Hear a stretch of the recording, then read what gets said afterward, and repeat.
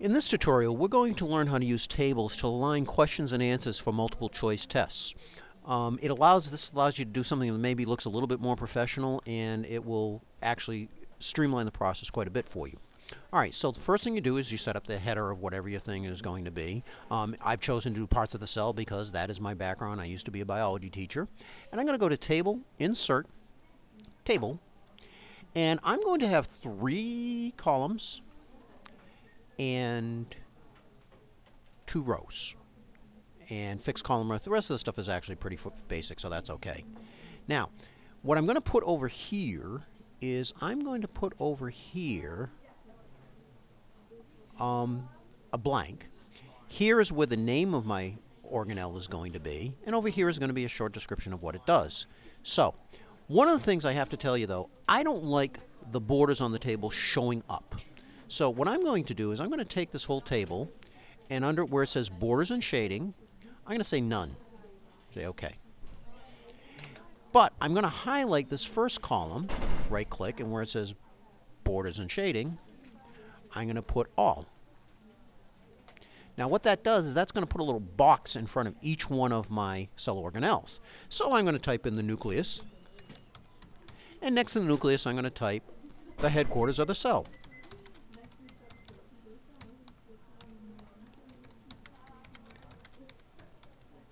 All right, and then the next one is going to be the mitochondria. And next to that, I'm going to put the powerhouse of the cell, or powerhouse of the cell.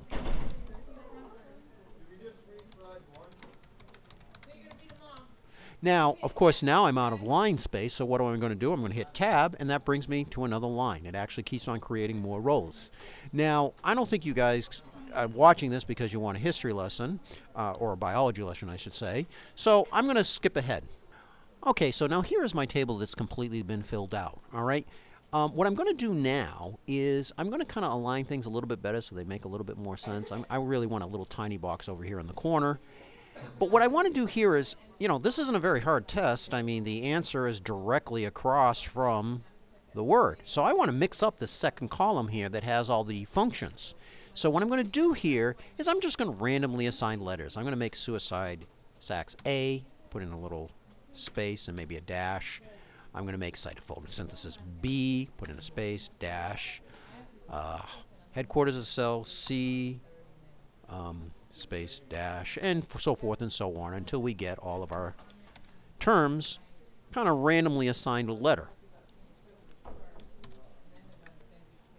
Now, you can do this exact same thing in Moodle. I'm not talking about a Moodle quiz. I'm talking about a quiz that you're going to photo, uh, mimeograph and hand out to the teacher, the, your students. All right, so here we have our two things, but now I want to sort this. I want to kind of randomize according to the letters I've assigned. So what I'm going to do is I'm going to highlight this column, and I'm going to go up to the little tab that says Table, drag down, and double go to the double chevron at the bottom. That expands so you can see the whole list. I'm going to hit Sort. And so I want to, you notice column 3 is already highlighted. That's because I selected it. I'm going to do it by text because it's a letter. And under Options, I want to sort only this column. Make sure that that's checked. I'm going to say OK. And OK. And now you notice, of course, everything's sorted alphabetically, A, B, C, D, E. And I have a nice appearing little column, a little quiz. In order to see what it's going to look like when I print it, because I didn't want there to be lines, I'm going to go to print preview, preview, and this shows you what it's actually going to look like. All right, little boxes, letters, everything. All right, this is a very handy tool for getting some nice, uh, creating a quiz where things are lined up. I find this easier than creating columns. All right, and so this concludes our tutorial on using tables to set up quizzes.